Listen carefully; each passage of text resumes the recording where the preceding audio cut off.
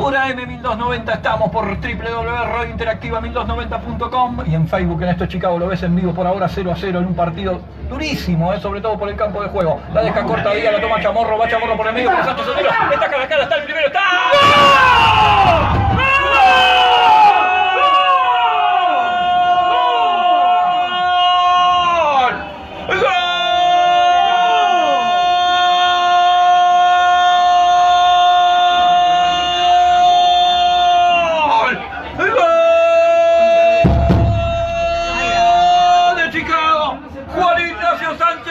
Se equivocó Central Córdoba la salida. La regaló Díaz para Valdés Chamorro. Chamorro habilitó en cortada Sánchez Sotero que cara a cara. De pierna izquierda la tiró el primer palo. Por abajo del arquero que salía a tapar para darle la ventaja inicial a Chicago.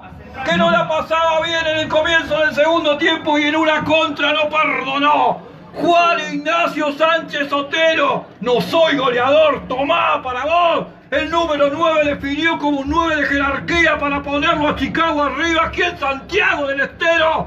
13 minutos del segundo tiempo. Juan Ignacio Sánchez Sotero pone Chicago 1. Central Córdoba de Santiago 0. La mando larga para Robles, el número 18 cubre a Chucarro, pone el cuerpo Robles. Bien a Chucarro. Tremendo capitán. Tremendo Chucarro. ¿Cómo cambió la imagen a Chucarro? Falta sobre Master, cobre el juez, dejó seguir el árbitro, porque la tiene Chicago. Se con la pelota, larga pelota para Sánchez Sotelo, va a quedar contra borda, le pegó de primera, está.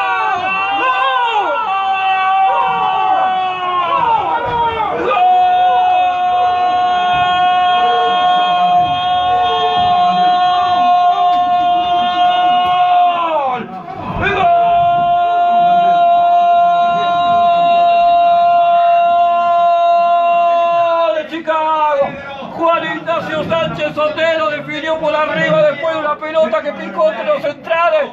La borda quedó a mitad de camino y así de zurda como vino, la levantó y fue entrando despacito, como pidiendo permiso, creo que fue Martínez, o fue Miseri, Gonzalo Miseri con una pelota bárbara para Sánchez Sotero que metido entre los centrales, con el arquero a mitad de camino y de pierna izquierda pone el segundo.